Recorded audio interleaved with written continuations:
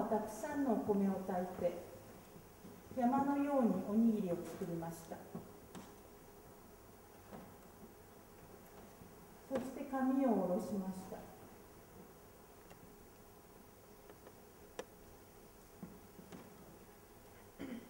彼女の頭の後ろには大きくて真っ赤な口が広がっていましたそして彼女はその口の中におにぎりを放り込み始めました。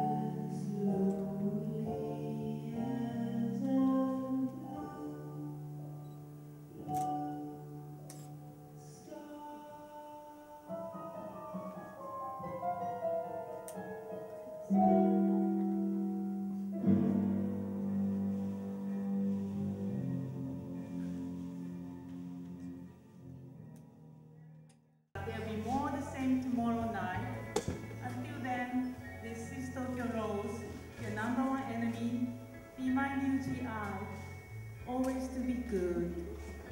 Goodbye.「